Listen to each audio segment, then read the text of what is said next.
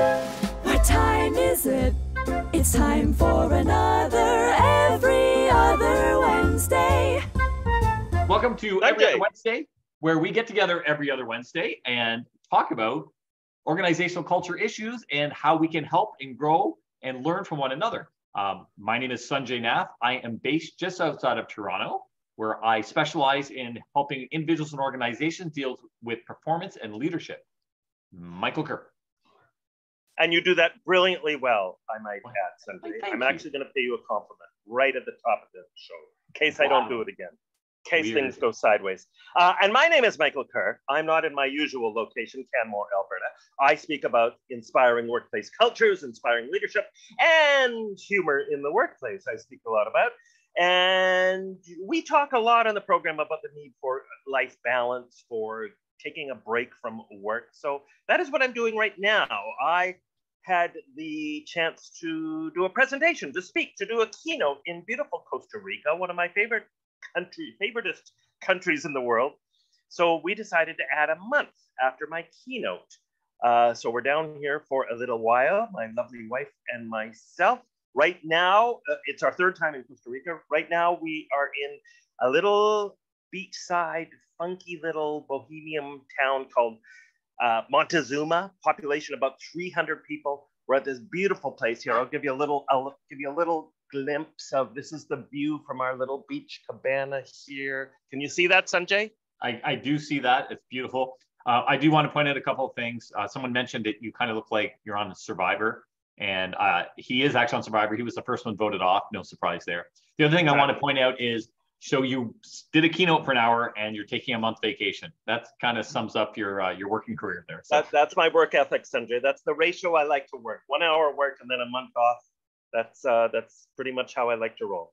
perfect. Un, uh, unable to join us today are our two partners in crime, Jeff Tobe uh, and and Richard Hadden. Actually, very small, quick, funny story about Richard. So two weeks ago, I was able to join from um, from a hotel room in, where was that, Kansas City, speaking.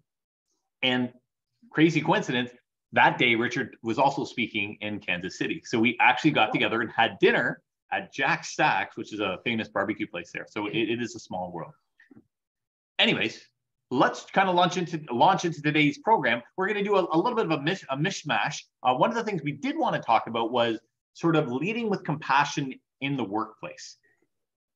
Oh, sorry. There, I my my doorbell just went, and I I apologize. I know this is rude. Some people You really have to no get it decorum. down. Don't you? Don't you put up? I put up a sign when I'm at home. Do not ring the doorbell. I've got Oh. important things to do. Anyways, give me a second. One sec. One sec. One sec. Sunjay. Okay, I'll just I'll just talk amongst myself. How's everyone doing? Uh, it's lovely. It's 32 degrees here today. We went for a beautiful hike down the beach. I got up at five this morning to do this. It was just the FedEx guy. It was just Oh the God, FedEx good. guy. Thanks. Thank Yeah. goodness. Just the FedEx guy. Good. Welcome back, Yeah, Sunjay. so- It's good to see you. Yeah, you okay, were- good. Well, saying- All great to be uh, to be uh, to see you again, Michael. And uh, wait, wait yeah, a minute. so- Wait, wait. I gotta put my glasses. What the? What the heck is going on? Oh, it's look at you. It's So here lovely we Richard. are. What is? Here we is- are. Oh, this is like when a special when a spe- special celebrity shows up on the Tonight Show or something. Ah, the old switcheroo. Yeah, plot Old twist. switcheroo. plot twist. Yeah. No, I um, just as luck would have it, uh, Sanjay and I find ourselves in the same city a lot these days, and so This is actually the this third is time. the third time in about a month. Yeah, in, in Wow. about six weeks, whatever yeah, it is. that, Uh, that we've seen. Wow. But Richard has a flight in four hours, Right. so uh, we were able to Oh, do so this. we should we should speed this up. Uh, exactly. Right. Talk a little faster. Anyway, You're it's looking not about good, me, it's Richard. about Good to see you. and empathy today. What a nice surprise. I'm jealous. You know what? Actually, not- not You're in too Costa Rica and you're jealous. Yeah, no, I I'm not. I, I thought about it for a second. And no, No, not- not that jealous. And think about it. Richard gets to hang out with me. You're jealous of that, right? That's right. Yeah. I know. Yeah, no. Yeah. Okay, these people So we're talking about compassion. about empathy and compassion. So what do you think? Well, we kind of a lot of times when we put together these shows, uh, and as you can tell, we spend hours and weeks and sometimes years rehearsing and practicing. Um, we often base them on articles, and there's this article that we kind of shared around and, and kind of discussed and argued a bit about. But one of the things I really liked about this article is, is they decide or they define the difference between empathy and compassion. And I actually really liked the uh, the definition. They said What was that? they- they said that basically compassion is empathy plus action. And, and so I, I, I, really like that because, you know, it's nice to be empathetic with someone and saying, hey, you know what, that sucks. I, I feel for you and, and have that true empathy and be that empath. But to take it to the next level, to kind of actually act on some of that and help them and support them and help them move forward, that's when we all of a sudden get into this, this compassion piece. So how does compassion work in the workplace?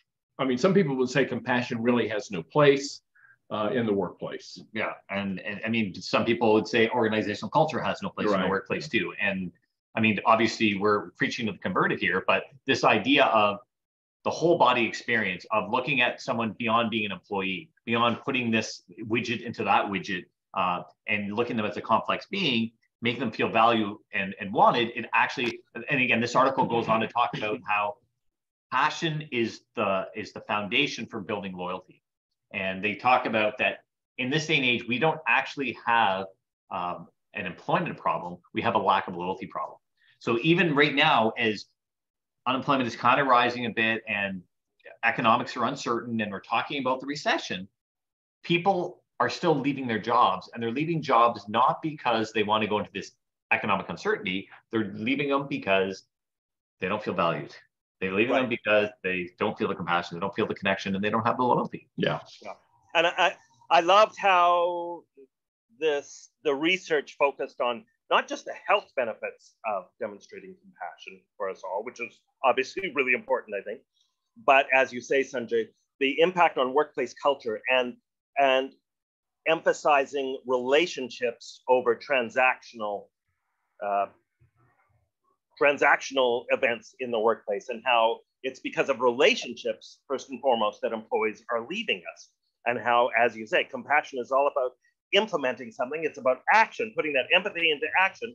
But it's really at the heart of it, recognizing the importance of relationships, that everything starts mm-hmm. with relationships in the workplace. When we talk about culture, when we talk about trust, open and honest communication, people feeling like they have a sense of belonging and feel valued we have to make sure everyone, I think, not just the senior leaders, everybody is putting that compassion into action on a regular basis. So how do you how do you put compassion into action?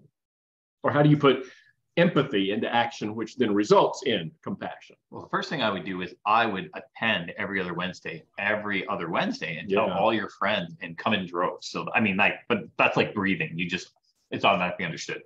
Right. Uh, and, and again, the, the, the article goes on and gives some specific strategies on, on how to do that. And a lot of them are very sort of common sense approaches. But of the of the ideas, the one that really stuck out to me was, you know, when you're trying to engage mm-hmm. people, mm-hmm. especially when you're looking to help them, they said try to get away from yes no questions and ask more open-ended questions. So, do you need help? Is very it's a very different question and it faces a very different reaction than how can I help? or what can I specifically do for you right now to lower your stress? Or how can I make your day better? Or mm-hmm. whatever. So getting away from the very directive, especially to if we're stressed and you know we're freaking out, we just have a tendency to go, no, yes, leave me alone, and want to bury our heads in the sand. So if, if we can be led more with with the more appropriate question, mm-hmm. we're able to uh, zone in and open it up. Like actually, I'll, I'll give you a quick example and these guys I'm sure can relate to. If you're in front of an audience as a speaker and you go, I need a volunteer, depending on the group, sometimes you're great, you get volunteers. Sometimes you get crickets, right? And crickets can be good volunteers sometimes. Sometimes, yeah. especially Jiminy Cricket. Yes. Um, so you can have that's that's a way of asking a question. I need a volunteer, and again, it might work, but I found that if I'm in a group that's very passive or not into it at all, or you know, very quiet, shy, reserved, I won't ask that question. But if I do need a volunteer, I will pose the question differently, and I'll say something like, "I need a volunteer who has her birthday in an odd month, has at least two children, and grew up with an older sister." And all of a sudden, people by just changing, that would actually be me. There you go. Yeah. And would you volunteer? Sure, yeah, because I mean, you just hit every every point from it. But my, my point is by changing the question and not keeping it so easy to reject and making it more specific to the person, it actually shows a connection. It's, it's a form okay. of, of, coming closer together. Yeah, yeah. So so yeah, and it, point taken, Sunjay. That's that's it's incredibly important, right? To think about how we ask our questions and to, yeah. To, to, and you know, as as is often the case, Carol has brought up an interesting uh, point, an interesting question. She says, interesting how things have changed over the decades. It's hard to imagine someone in the 1930s leaving a job because they didn't feel valued. They were working because they needed to put food on the table. I was having a conversation just last week about this. I spoke for a, for an association, and they, although this is not my specialty particularly to do an entire keynote, they asked me to do it, and I did. And it was on attracting and retaining younger workers. And, and, and I did quite a lot of, of thinking uh, and, and research on this. And I, I opened by telling the story of my great grandfather, who was born 150 years ago in 1873 in a tiny little village in Georgia he was a pecan farmer all his life. He had 10 children, you know, all of this. And then I compared him to my daughter, who is 34 years old. And I said, you know, if you were to ask Solomon Cottle and Lindsay Hadden what they want out of work, I think you'd get pretty much the same answers you know they they yeah they need to make an income but they also want to do something that's important. They want to do something where they feel like they're having an impact. They want to learn something. They want to get better at stuff. But the context in which we provide what people need is what has changed. I don't think what people want and what people need is, is changed. I don't think any of us wants to go back to the 1930s i think you're absolutely right carol people would they would never even consider you know whether or not i feel valued and all of these other kind of what we call higher order needs. But this is not the 1930s and i think what we have to do now especially in a competitive labor market is to say what is it that we can do that's going to really uh, you know attract the best keep the best and make the best people productive in what we do? You know to that point so, so oh sorry i want to ramble on a bit about that um, I, I, read something years ago talking about different demographics, and they said, you know, the veteran, the veteran generation, they, you know, did the same job, didn't complain for 35 years. They got their watch, retired, and went off to the sunset. Then the boomers, they did the same job for 35 years, but they did complain, and they were a little grumpy. And and you know, after 35 years, they got their job. The Gen Xers, they were you know a little uh, a little little feistier. They're going to talk back. They're going to be a little more defiant, but for the most part, pretty loyal, maybe switched careers a few times. The Gen Ys are going to switch careers 18 times. And the millennials, they like, you look at them weird and they quit their job on principle and they go live in their, in their parents' basement.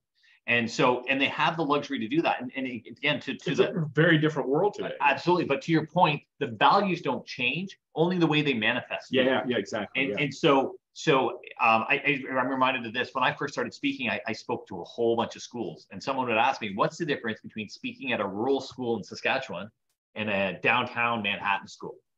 And and I one is it's colder in the one in Saskatchewan. It depends time of the year. Uh, All right. Um, and and what I would say is the issues remain the same, but how they manifest yeah, change. Exactly. So it's about fitting in. It's about finding your identity. It's about you know. But in one and I'm being a little stereotypical when I say this, but in one um, region, it's you need the newest tractor to fit in. Yeah. And yeah. the other one is you need the newest, you know, the three hundred dollars phone. Yeah. Right. Or the phone. Yeah. Uh, yeah. And and and I would Yeah. add to this, you know, this this discussion about things changing over the decades and being being relevant today. I would I would add that I think it's even more relevant in those positions that don't necessarily have a lot of perceived connection to a, a, a great sense of purpose or meaning. Yeah. So, for lack of a better term, the, the muck jobs that we talk about, the lower paying jobs where people tend to just be treated as widgets, Yeah. disposable, interchangeable. I think, especially in those jobs, the more the supervisors, the more the managers can build a culture and can lead with compassion, the greater the impact is going to be for those kind of jobs, even more so than a lot of other jobs. But I want to get to a question for both of you wise gentlemen and Okay. our, our, our chat folks here today. Compassion is again one of those terms that a lot of people would consider one of those loosey goosey, soft, intangible, kind of mushy things. So the obvious question becomes is it possible to hire for compassion? Like, can we hire candidates? Is there a way to hire candidates for this trait? And can we train people for compassion? If it is just that important to the health of our culture if we know, as all the research suggests, it has a huge impact on employee absenteeism rates, presenteeism rates, employee turnover, health, resiliency, all this stuff. Can we hire and train for compassion? Yes ish. I mean, Yes, like anything else. I like yeah, that. it- Yes, this is it, it's Maybe. the whole, it's the whole nature versus nurture argument, right? Yeah. Like there are people who are just innately more empathetic, right? They Mhm. just they can smell empathy. They they walk into a room and they're like, oh, you had a you had a fight with your significant other, or uh, oh, you, you're what's wrong with your dog? They just know they have what call it intuition, call it whatever you want. There are people who are just hardwired differently. Fair enough. But there are people who necessarily don't have it to that degree, but they are open to learning. And those people are trainable. But the people who cross their arms and go, ah, this this is crap. This is mushy. I don't I didn't sign up for this. They're not trainable. Uh, and I think, but he, this is the point we brought up many times: is it has to fit, regardless of whether you're trying to train these people to to be more compassionate or you're bringing them in compassionately and you're hiring for that.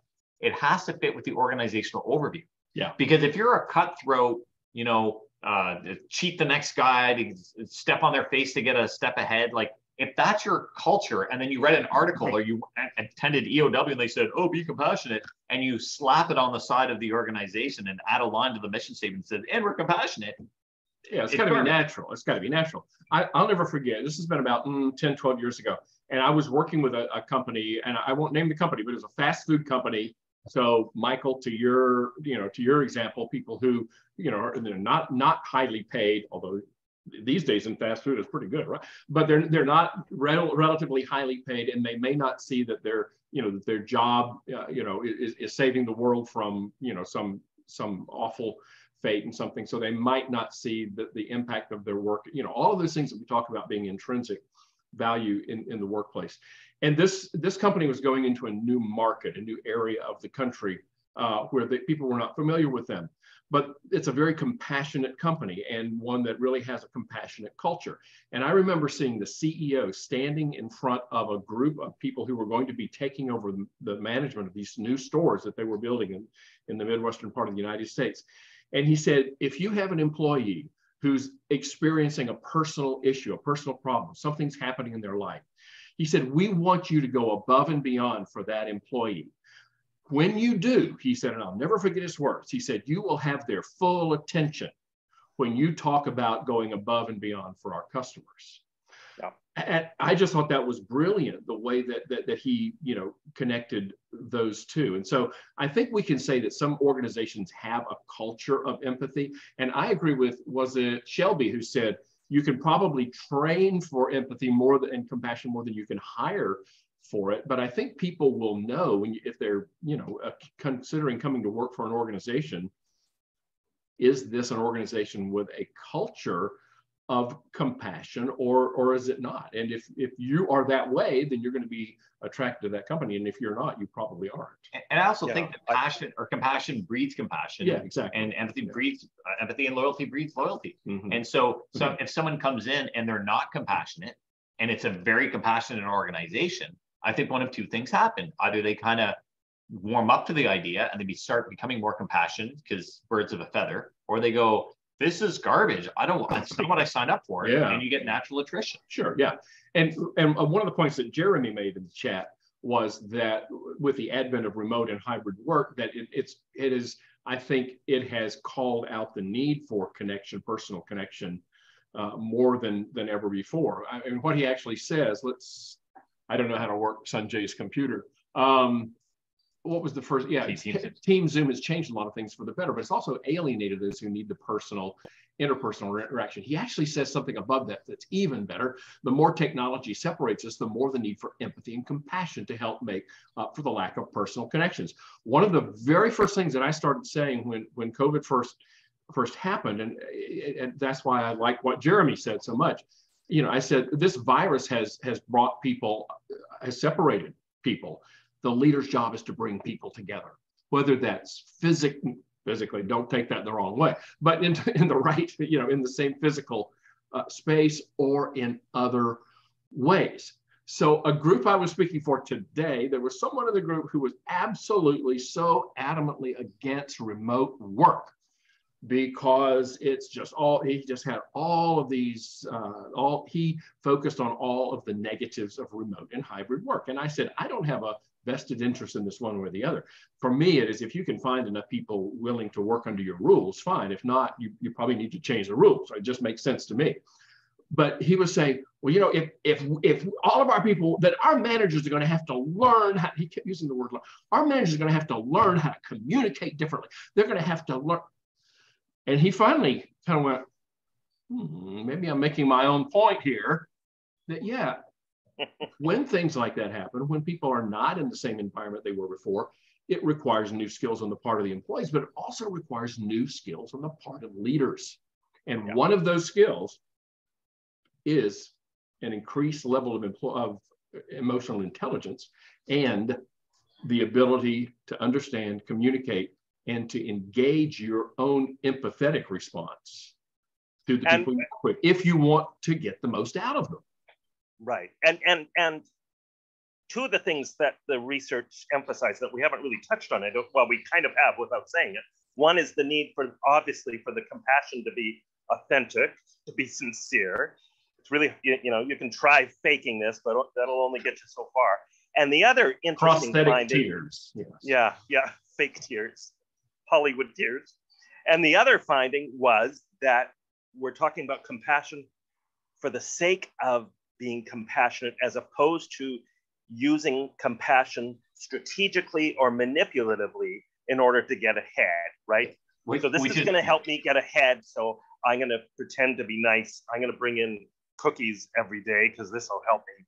You know, people think I'm great and nice, and this will help me succeed. What the research clearly shows is people really do succeed as leaders if they are compassionate, but it has to come from a genuine place and not a place of doing it for ulterior motives.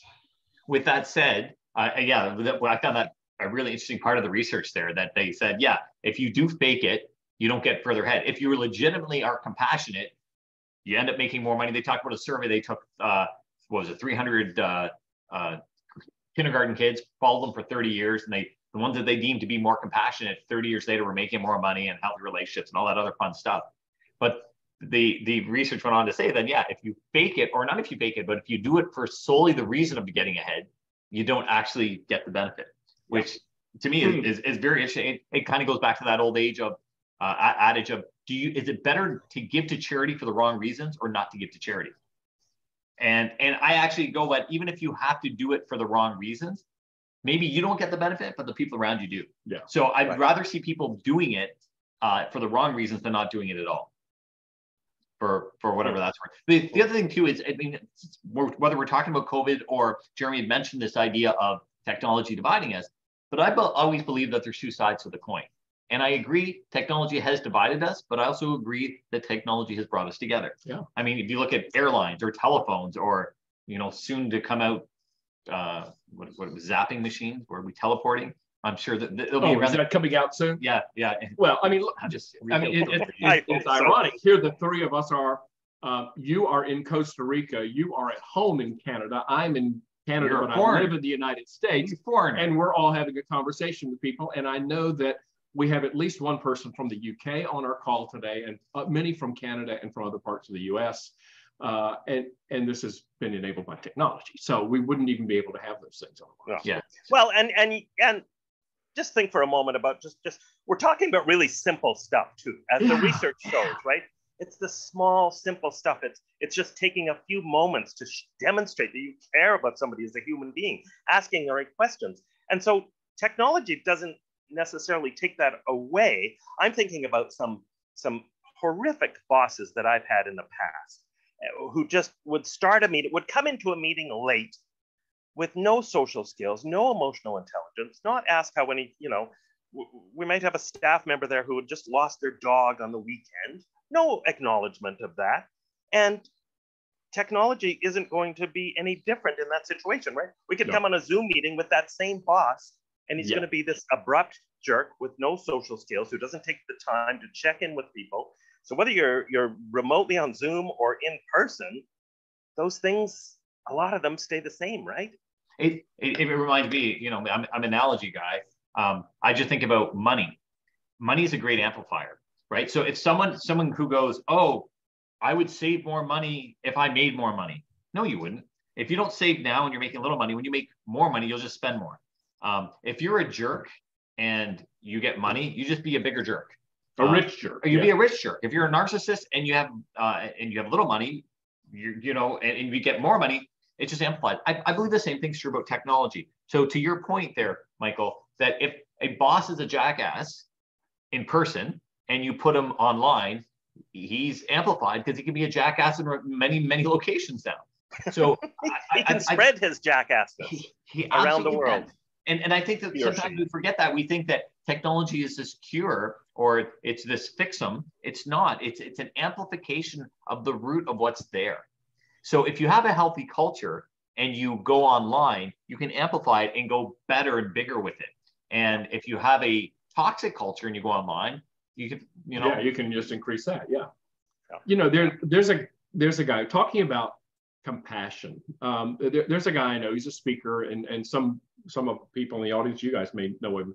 is of it him. is his name Mike Kerr? No, it's not. Is it- it's not is it- Sunjay Nath either, nor is it Jeff Tobe or Richard Hadden, but it's Marcus Engel. Uh, Marcus Engel was in a horrific automobile accident. I think he was 18 years old. Um, he was blinded and his entire face was crushed. And he spent literally, I think he had dozens of surgeries in hospitals. And he has gone on now to write and speak about the idea of compassionate caring. And I love his definition of compassion uh, when, when he says that it is the feeling or the ability to relate to the suffering of another person combined with the desire to improve it. So, hmm. you know, I mean, I think the empathy is, yeah, we can relate to that. But then, just like this body of work that we've been looking at adds a further definition to say that it's it's empathy plus action is is compassion. And so what he's saying is that it's not only empathizing with people, but having a desire to somehow make it better, whether it be through what you can actually do materially for it or simply commiserating, just simply allowing people to express their feelings and so forth. Right. And again, you you will get people who will say, "But that's not what business is about. We're here to make money." Blah blah blah blah blah. But if you look at how people respond, I don't know anyone who doesn't respond positively to a compassionate leader. Right. And compassion usually has a story behind it. Yes. And that's one of the things is as human beings, we're attracted to a story. I mean, if you look at the greatest marketing campaigns, they're always story based. Why are movies successful? They're story based, right? So that's how we we draw people. Uh, how we connect with them is is the story because your story is similar to mine, or uh, that it, it excites an emotion within me, and and I'm drawn into it. Um, so given the, the we're kind of you know starting to wind this thing down, and let's go through in the article. They actually talk about seven ways, uh, evidence-based ways managers can improve their compassion skills. So okay. let's So this gets to the question: Can you train? Can you train for compassion? Yeah, and I, I was, Let us I was assume going that we have hired for compassion, or that we've just been lucky, and the people we have Yeah. hired are And- capable and- of that. Richard, your your definition that you gave too um, from that speaker, again, that makes me believe just that focus on action, right? I, I Yeah. vehemently agree, agree or think that sort my my brain is a little Costa Rican fried. That's my excuse. Um, it, it normally is. I've only been speaking to monkeys for about a week here. Uh, Well, where was I going with this? Yes, sorry. So, if we know that the key element here is action, that's one of the ways I think that this is actually highly trainable. Yeah, You can, first of all, sell the benefits of it, sell the real world economic benefits of creating a compassionate culture. But then we know since it takes action, I think a lot of leaders just they, they don't know. They've never been trained on this. And you need to, for some people, just spell it out really simply. Here is a whole uh, kit. Here is a whole shopping list of ideas of simple things that you can do to turn empathy into action and build a more compassionate team and be a more compassionate leader. So I think it's highly trainable. So on that note, Sunjay, are you going to share the um, Sure. First one is it says start small. What does that simple mean? things? Yeah. Yeah, I mean, it, it- you don't have to change it overnight. You can do little things. In fact, they even talk about Uh, sometimes people are too busy or they claim to be too busy. And again, the research is showing that in 40 seconds or less, you can actually make a difference. So sometimes it's as simple as, hey, how's your dog? Or, you know, oh, knowing something, their child did this, their significant other, there's something they're working on. Hey, I heard you were at a judo competition last weekend. How did that go? Right. It's just, it's just a way of, of making an effort to show that their life matters. And, and again, this is based on authenticity. If you don't care about the judo competition, don't ask because it was a checkbox how was the judo competition? Because in as fact, you glance at your smartphone every five seconds, right, and, and roll your eyes when. It, so if you aren't doing it truly and authentically, it will actually alienate and has the opposite effect of what you're trying to do. And the second thing on the list was to be thankful. So to be thankful for what you've for what you've got for uh, for good news. I you know I'm I uh, have a group of people that I meet with frequently and we start every one of our meetings with let's go, let's have good news. Let's just go around the Zoom room and share good news. I think when we're when we're cognizant of the things that we do have to be thankful for, and we voice that, that that enables us to be more compassionate. Yep. So being thankful. The next thing says be purposeful. I, to me, I, I interpret that as be intentional about it. So sometimes, especially if you're not a particularly compassionate person by nature, but you recognize the benefits of it, then I think you're going to be a little bit more intentional uh, about it. So to actually go back to your point that Mike, you were making, creating that boss that is all business and doesn't care about, you know, all these other things that are going on. If you have a, a purpose, uh, even if it's just a template to begin with, and it says, hey, we'll get to the business, but before we get to the business, can we do a little check-in? Can we talk about uh, an item in the news or something that's that's you know um, social or or that's relevant to you. And again, it has to be real. If you don't care about the person's dog, don't ask about the dog. Um, and but but there's got to be some common ground. If you're drawing a Venn diagram, there's some overlapping bit. It can do with interest rates. It can do with your sports teams. It can do with the ballet recital. It doesn't matter what it is. It just has to be something you truly care about, and it connects you to that other person. Exactly. Stephen is asking if we can share the source of this. Uh, yes, we absolutely can. And it came from it came from something that I have a um, a subscription to, and so it might be subscription based. And what was am that? I am I allowed to copy and paste it? Yeah, sure. Yeah, yeah. The whole thing? Sure. Why not? Okay. Yeah. He's, he's gonna, it's, not it's, not that long. He's going to copy and paste. Uh, and uh, yeah, this may have come. This either came from the New York Times or Harvard Business uh, Review. I'm it was sorry. it was a Harvard Business. Uh, was it? it yeah, I did say yeah, HBR. Yeah. Yeah. Okay. okay. Um, I don't know. It's it's not it's not like okay. Yeah. So it's a Harvard Business Review article. It's kind of the top. Uh, Sunjay. Where, oh, it doesn't. It doesn't uh, actually say. Leading with compassion has research-backed benefits. You know what? I'll do the title and the authors. How's that? There you go. Google it from there. There you there go. There you go. Okay. You, so you, you can find it with that. Uh, Carol also has, and, and, you know, Carol's example that, that she brought up, I think is so typical of what we sometimes can see. She said, someone at work, I had disagreements with them. They're having some medical issues, said their father was having a test on a certain date. And Carol made a note of it. I think that gets to the point that we said sometimes you have to be intentional. Carol made a note of it. She went back and she asked the person about it and completely turned around their relationship. That doesn't surprise me one bit. That's exactly the kind of thing that I would expect uh, when people yeah. say, "Gosh, I really didn't, I really didn't know you cared." Right. And, yeah. and, and there's an example because Carol legitimately cared. Now yeah. she knew she might have got busy with life and might have forgotten about it, which is why she wrote a note to herself. Yeah. Right. So there's the idea of being purposeful, but still yeah. being legit and, and authentic. Yeah. yeah. Yeah. And I mean, sometimes literally to your point, Sunjay, uh, you have to schedule it even.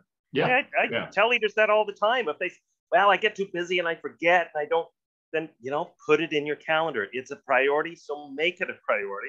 My, so my, put it in your calendar. My, my grade 11 English teacher, and for the Americans, my 11th grade English teacher, um, she used to say a short pencil is a lot more effective than a long memory. exactly. I like that. There you go. All right. Uh, next one was find common ground, which again, we were kind of alluding to around being purposeful. Yeah. So again, if you don't care, don't go there. If right. you and if you do care but they don't care, don't go there. If you care and he or she cares, go there. not not much more than that, right? Yeah. This pretty sounds like you you need, you want to do an engineering diagram on this I totally do. I need a whiteboard right here. That's uh, Yeah, yeah. there you go. Um, next one is see it, uh, and So, that yeah, just celebrating compassion within your organization. When you see that, bring it to light, bring it to, to others. And especially, I would say, and this is not in the article, this is just Richard saying, bring out the benefits of, of compassion. You know, uh, when, when you see that, and uh, then you're letting people know about compassion, let people know about the, the results thereof, the consequences. Yeah, and, and we know though that what gets measured, you know, Sure, moves yeah, forward, right? yeah. So, so the idea of highlighting it or or doing a little article or a you know employee of the month or compassionate person of the of the millennium or whatever it is by bringing the behaviors and rewarding the One behaviors, every thousand years. Yeah. it, it, it's it's a it's a highly competitive uh, Yeah. award. Yeah. Um, and the next one is, and again, you see that they all kind of overlap and do feed into another. It says elevate. Um, and so the idea of, of bringing, helping bring someone up, right? If they're down and and they're crying, you know, 45 seconds out of a minute, and you can talk to them, they can try 40 seconds out of a minute. You've elevated them. You you brought them forward. Mhm. And keep in mind that everyone's at a different level. And so it's not a matter of everyone has to leave your office yippee skippy and, and singing kumbaya. Uh, for some people, that's not a realistic uh, assumption uh, or a realistic stretch goal. And for other people's, you know, that's their that's as low as they go. So it's a matter of helping them elevate from where they are, moving uh, moving forward uh, in terms of feeling connected, feeling cared for, feeling heard and understood. One of my favorite that- lines. Go ahead, Mike. Sorry, Richard. I was going to say that reminds me of a Harvard study that I wrote about last year sometime about where they looked to see what was the single biggest predictor of success for future leaders. What was the, the biggest, most important trait? And what they found was that they were positive energizers. Mhm. In other words, they were people that just quite simply made other people feel better about themselves. Yeah, They yeah, were yeah. just, they were encouragers. They listened Yeah, yeah. genuinely. They were supporters. They were elevators to them, Exactly. not elevators, you know, like that, but Not You know. Yeah, yeah. the lift or Lift. Ubers. lifter uppers. Yeah, lift or Uber. Uh, wait, sorry. It, it just reminds me that I, I had an ex-girlfriend in high school who had a sign on her. Her parents had a sign on the door that said, "All of our visitors bring joy to our lives. Some by coming, others by going." Right. Yeah. so, yeah, yeah. And One that's of- the one of my test, favorite right? lines.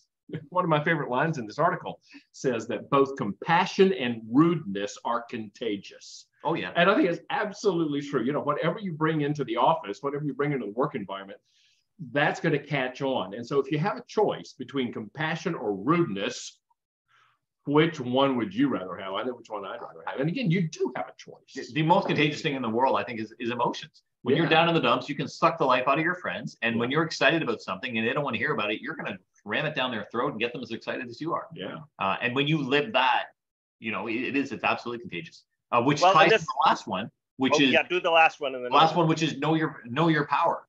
Uh, I mean, you do actually have significant ability to to affect the people around you, both positively and negatively. We can create that organizational culture. We can set the example for the compassionate we want our people to you know to live by and and move the organization forward. And on that note, you know, all, all of that, all of this, I think ties into the word legacy for me too. hmm When in, in my workshops, when I ask people to describe the best boss they've ever had in their life, what do they do? They always tell a story, back to Sunjay's earlier point. They tell a story. And they ever talk about the one who had the absolutely the greatest operational efficiency? Yeah, no, no. The No. one who had the best handwriting? No. The one who was the most, you know, administratively adept? No. It's always a story. And I would say 98% of the time, it's a story that demonstrated how compassionate they were. And this doesn't just apply to the senior leaders, this applies to all of us. What people are going to Yeah. remember about us isn't our bank accounts, isn't what car we drove, it's how compassionate we were with one another, right? All of this, I think, feeds into our ultimate legacy. Yeah. How Yes, we want to be remembered, how we want to be thought of, how we want to be spoken about when people leave the room. hmm Yeah. For sure. Well, That created an, au- an awkward silence. Mhm. no, I'm just no, I just you know everything that comes from everything that issues from your mouth, Mike, is just It, you know what? You're in a zen spot, and we don't want to. We don't want to mess very your food zen up. spot. No, no, No, you're You're absolutely you're absolutely right. Just a couple of things on uh, from an administrative standpoint. Number one, I hope everyone received the email yesterday that said, "Hey, we think we may have cracked the uh, the code on the uh, having trouble getting in." So I've had a couple of emails. Uh, thank you, Anna. Thank you, Jill. Uh, emails just in the last hour or so saying yes, that seemed to get us in. So uh, if you didn't get that, if you ever have trouble getting in, look at your reminder email and scroll all the way down. It'll take weeks to do it, but scroll all the way down and click the button that says join webinar. Don't click the re-registration thing or it takes us into a whole other dimension of the universe. And we don't want that to happen. The other thing is you do not want to miss two weeks from today, which is going to be March the 22nd, 2023, when we will be joined by our special guest, Chuck Gallagher, who's going to talk about the ethics of artificial intelligence and organizational culture. So, you know, I mean, we knew this was going to come up. Actually, we won't be here. We're just going to put this into Chat GPT and see uh, how the whole thing comes. No, that's not what we're going to do. That's, in fact, what we're going to talk with Chuck about. Um, and as always, if you found this valuable, we would encourage you to invite other people. Yes. Uh, we are thinking of doubling the price for the webinar, uh, but you want to get them in before we do that. Yeah. Um, and the other thing too is if there is a particular topic that you are interested in hearing more about, or you are interested in maybe possibly hosting, yes. send Richard an email, and we would love to hear from you. And you know, let- How do I, how do I get into your chat here? Go. You Okay. chat go. Okay. Yeah. Send an email to Richard at Contented Cows. He's new at typing. And I No. promise I won't look Oh. so scary two weeks from now. What's scary? I, I think we should do a vote on whether I should grow a beard or not. we have Mhm. time? Yeah, I know how I would vote, but yeah. Wait, a yes? Was that a yes, Richard? Yeah. No, I'm I have a I'm great deal of saving this off. compassion for people who don't grow beards. I'm going to uh, Unlike my Claudine- friend here who could grow one before the time is up. We've only got one minute. Claudine. No shave. And April for Claudine what all she you. says. Ashley says no shave April for all of Oh, does that mean I should don't shave? that. So I should just grow it? Yeah. Well, folks, this you are always the uh, the, the joy to our Wednesday, and so we appreciate you all being here. Not every And- Wednesday. N- Not every Wednesday, No. just how often? Every other Just Wednesday. every other Wednesday. And I just I'm think trying to read so these cool shave that comments. Mike was able to be here from Costa Rica, and I hope that some of you enjoyed the little switcheroo that we did at the top of the hour. Yeah, no, it, we're all American free today. Yeah, we nobody's coming from the U.S. today. There you go. Folks, thank you for Gosh. joining us. We will see you every other Wednesday. Okay, Thank bye. you all.